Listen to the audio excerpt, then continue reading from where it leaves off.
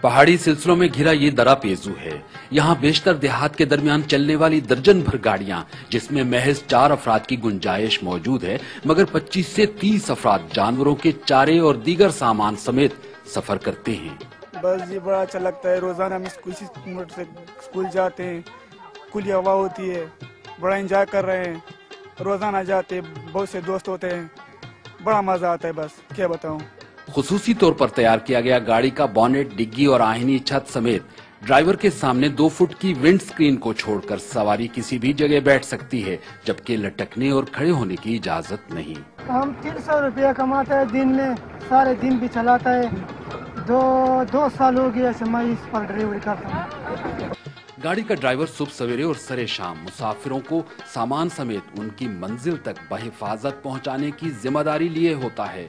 ان پتریلے اور ریتیلے ٹیلوں پر دوسری کوئی سروس نہیں۔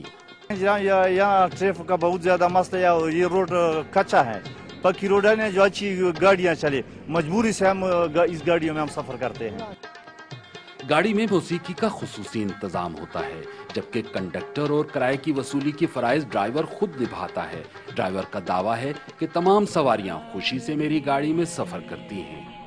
گاڑی بلا رہی ہے جیتی بجا رہی ہے۔ چلنا ہی زندگی ہے، چلتی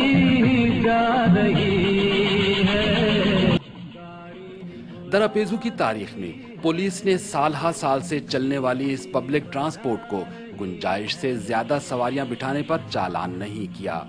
کیا کہا جائے؟